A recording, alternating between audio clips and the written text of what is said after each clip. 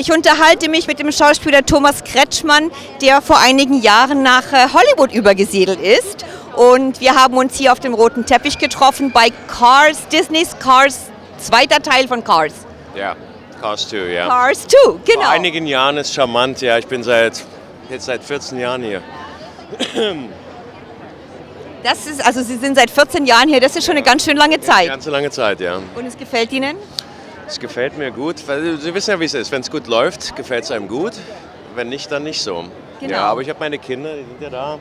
Und ähm, also es gibt immer noch ein Leben außer dem, Natürlich, außer dem Filmquatsch. Und äh, insofern geht es mir immer gut. genau. Und ähm, Sie werden dann Ihre Kinder so jetzt, da Sie hier schon einige Zeit leben, kleine Angelinos oder bleiben Sie noch ein bisschen mehr, behalten Sie die deutsche Mentalität ein bisschen bei? Ja, Deutsche Mentalität haben sie oder hatten sie nie. Äh, Die Mutter ist ja Russin, sind hier aufgewachsen, geboren, aufgewachsen, aber ähm, ich nehme sie halt überall hin mit und jetzt im Moment drehe ich gerade in Italien. Bin extra für die Premiere hergekommen und fahre nächste Woche wieder rüber und nehme sie dann alle mit. Also die kommen viel rum und sind dadurch, äh, haben sie auch ähm, so einen Blick auf die Welt, also nicht, die so nicht typisch für Amerikaner ist.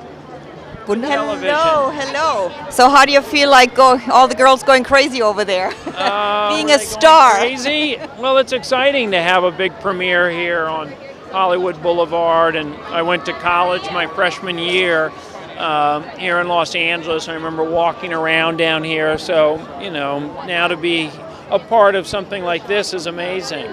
And you are really the go-to guy for really sophisticated comedies. And I mean, you're doing a wonderful, wonderful job. When you look at your career, did you ever imagine this was going to be like that? I didn't, you know, uh, you know, especially with the first movie that I did with my brothers and my friend directed.